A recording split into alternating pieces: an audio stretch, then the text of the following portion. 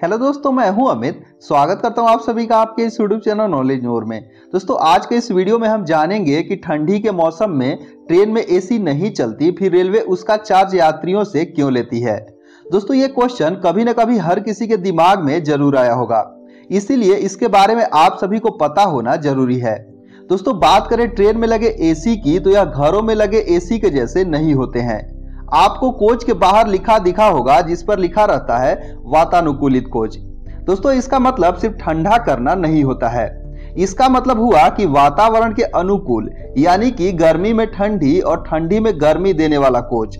गर्मियों के मौसम में जब बाहर का टेम्परेचर 40 से 50 डिग्री रहता है, तब अंदर का टेम्परेचर 20 से 22 डिग्री तक रहता है, जो कि कोच के इंड पर लगे एयर कंडीशन पाइपलाइन के माध्यम से पूरे कोच में ठंडी हवा पहुंचाते हैं। और जब सर्दियों में बाहर का टेम्परेचर एक से दो डिग्री तक रहता है, तब भी कोच के अंदर 18 से 20 डिग्री का टेम्परेचर मेंटेन रहता है।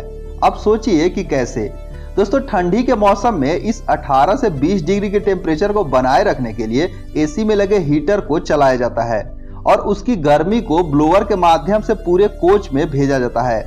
यानी कि चाहे सर्दी हो या गर्मी, दोनों मौसम में उसमें लगे एसी चलते हैं और अपनी ज़रूरत के अनुसार काम करते हैं।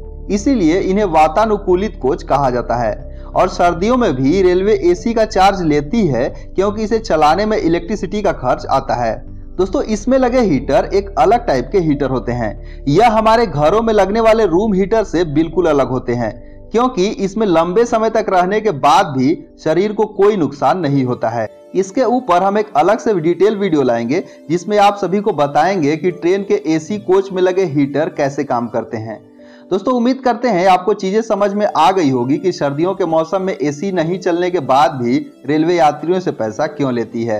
इस वीडियो में बस इतना ही। वीडियो पसंद आई है तो लाइक कर दीजिएगा और दोस्तों के साथ शेयर ज़रूर कर दीजिएगा। मिलते हैं अगले वीडियो में। तब तक के लिए धन्यवाद।